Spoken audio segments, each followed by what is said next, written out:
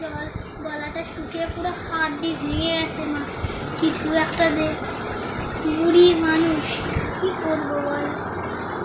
ওদিকে হেঁটে হেঁটে সে কুলওয়ালাকে বললাম, একটু জল পাই। সে জল দিল না। তখন আমি বললাম, না, জল পাই। তখন বলছে, জল পাই তো আমার কাছে নেই। তারপরে আমি হেঁটে হেঁটে এসে তোর ঘরে বলছিস, বড় মা, তুমি এখানে এসছো কেন? আমি বললাম, সোনামণি, আমার জলের খুব নেশা পেয়েছে আমি বুড়ি মানুষ। জমিদার বাড়িতে আমার ধাক্কা মেরে গলা টিপে মেরে এখানে এনেছে।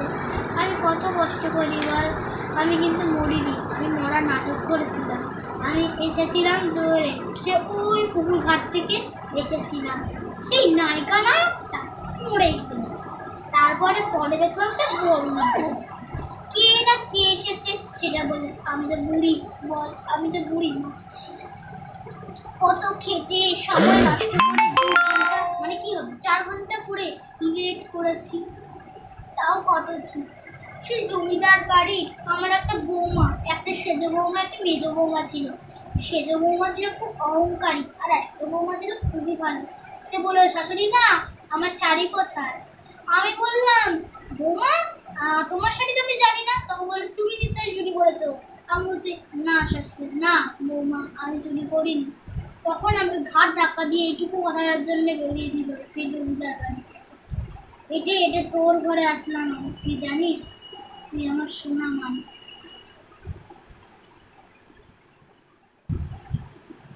বললে হয়তো তোমাদের সবার কষ্ট লাগবে। এক অ্যালবাম বলতে চাইছি, সবার কষ্ট লাগবে। কত কষ্ট করি, আর এখানে আমি কি বলব? এখন আমি বাজার কাছের এখানে বিক্রি করছি, আমি কত ধনী লোক, ধনী লোকের জমিদার বাড়িতে বাস করতাম। এখন আমি এসেছি, এখানে বাজারে সব কিছু বিক্রি করছি। কত কষ্ট কত কষ্ট। মুখের মধ্যে সাদা একটা চুলের বাদান লেগে, আমি এখানে এসেছি।